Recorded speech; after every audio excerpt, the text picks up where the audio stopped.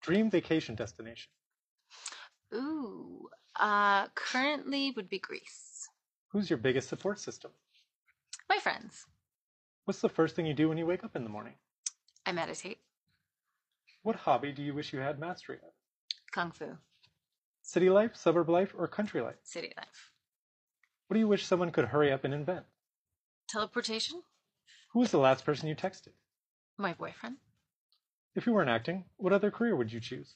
I would be probably a interior designer.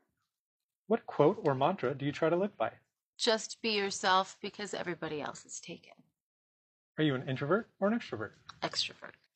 Are you a saver or a spender? Both? If you could look into a crystal ball and find out your future, would you? Probably. What is something that you're looking forward to? Season four of All American. Season five of All American. What's something you miss about your hometown? I live in my hometown. Are you a texter or a caller? I try to be a caller. What do you do when you aren't shooting All American? I spend a lot of time with my kids.